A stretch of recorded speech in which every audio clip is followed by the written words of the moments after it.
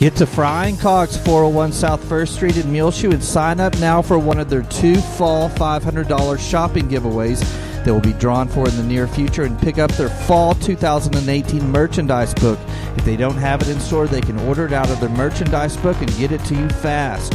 Lots of new scents in the Circle E candles and tarts, along with the new car air fresheners that are very strong and in leather, barefoot beach, bird of paradise, and more scents. Look for a Circle E candle giveaway soon on Fry and Cox's Facebook page. Get this 12 ounce glider black spray paint cans for 250 each, good through the end of September.